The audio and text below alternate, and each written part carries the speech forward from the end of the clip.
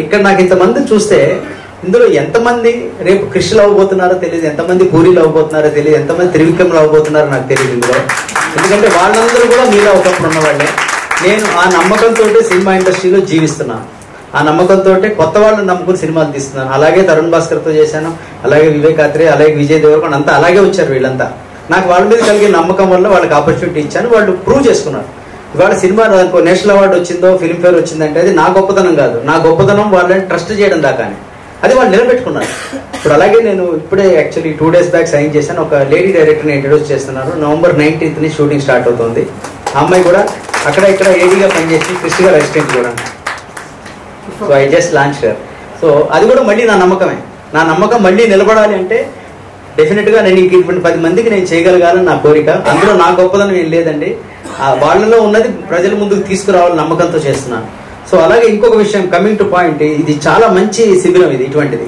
ఇది చేసినప్పుడల్లా మనల్ని మనం రీఫర్బిష్ మళ్ళీ మనం ఒకసారి రిఫ్రెష్ చేసుకున్నట్టుగా అవుతుంది మెమరీ లోపల నుంచి. ఎందుకంటే ఇంతమంది కలిసి ఒక చోట కలిసి దాన్ని మదనం లాంటిది. మేఘో మదనంలో ఉండండి ఏమన్నా దీన్ని మీ మీలో ఉన్నటువంటి కంటెంట్ అందరిని ఒక పది మంది రైటర్స్ కలిసి మీకు పెద్ద సీనియర్స్ చెప్పడం వల్ల మీలో రిఫ్రెష్ అవుతుంది థాట్ ఖచ్చితంగా మీరు రాసుకున్న కథలు ఏమి ఉంటాయి ఇంట్లో? ఈ శిబిరం అటెండ్ ఇంటికి వెళ్ళాక దాంట్లోనే మీరు మెలకువలు ఇంకొన్ని దిద్దుతారు. దాన్ని ఇంకొంచెం ఇంప్రూవైజ్ చేస్తారు. చూడండి మీరు. ఖచ్చితంగా బాగా వస్తాయి. ఇంకొకటి ఇప్పుడు కూడా దర్శకుడులో రచయిత ఉంటాడో లేదో నాకు తెలియదు కానీ ప్రతి రచయితలో దర్శకుడు ఉంటాడు. అది స్ట్రాంగ్గా నేను నమ్ముతాను. రచయిత అనేవాడు ఖచ్చితంగా దర్శకుడు ఫస్ట్ తర్వాతే రచయిత. ఎందుకని? ఇంకోసారి దర్శకులు ఉంటారు. చాలా అద్భుతమైన స్క్రిప్ట్ అండి. స్క్రీన్ ప్లే ఆర్డర్ అంతా రెడీగా వేసిందంటే ఆ దర్శకుడికి యాక్చువల్లీ పని ఈజీ అయింది. అంటే నా ఉద్దేశం వాళ్ళు చేసేది ఏమి లేదని కాదు కానీ వాళ్ళ రోల్ కొంచెం లిమిట్ అవుతుంది.